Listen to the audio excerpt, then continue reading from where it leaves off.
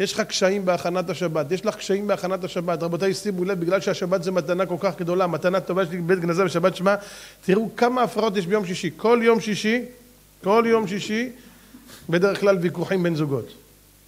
שמע בקולי, אל תענה, תשמעי בקולי, אל תעני.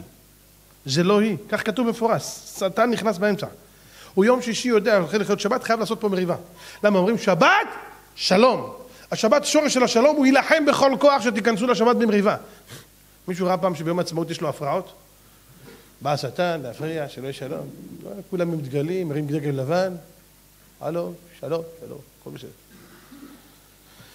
שבת קודש. תכינו את השבת. ושמרו בני ישראל את השבת, לעשות את השבת. אתה יודע מה אתה צריך לשמור את השבת? לפני שהיא מגיעה לעשות אותה. איך עושים אותה? הכנה. מהי ההכנה? צריך לשמור, לא לכעוס. הזוהר הקדוש אומר שמי שכועס ביום שבת, נחשב כאילו עבר על איסור הבערה בשבת, הדלק את האש. למה? הכעס, אומר הזוהר הקדוש, זה הדליק נורה דגהנם, הדלק את האש של גיהנום. זה כעס, זה אש, זה טירוף. שתוק, שתוק. היי, נראה לך אני פראייר? אח שלי, יש לזה שכר גדול, תלמד לסתום את הפה שלך. אתם יודעים, כשבן אדם סותם את הפה שלו, לא יודע מה הוא מרוויח. אדם לא מבין מה זה שכר של סגירת פה. לפעמים נראה לנו שאם נסתום נפסיד. שתוק רק תרוויח.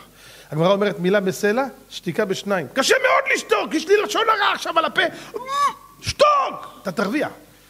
לא, אבל אני חייב. אתה לא חייב כלום, שתוק. זה קשה מאוד. כמה כל אחד מאיתנו יודע כמה זה קשה. לא בשביל, לא בכדי, השכר של זה גדול מאוד.